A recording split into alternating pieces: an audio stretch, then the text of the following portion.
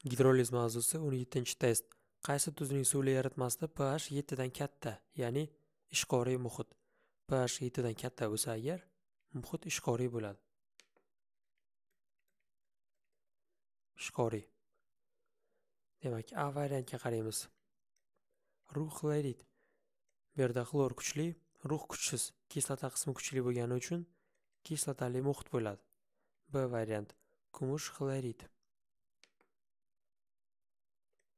Demak, xlor kuchli, kumush kuchsiz. Kislotali muhit bo'ladi. C variant. Natriy nitrat. Natriy kuchli, nitrat ham kuchli, neytral muhit bo'ladi. D variantga qaraymiz. Kaliy karbonat. Demak, kaliy kuchli, karbonat kuchsiz. Ishqoriy muhit bo'ladi. yoki potash ham deb aytish mumkin bu kaliy karbonatni mineral ko'rinishidagi nomi demak D variantni olishimiz kerak. pH 7 dan katta bo'ladigan suv e, tuzning suvli eritmasi bu kaliy karbonat eritmasi bo'ladi.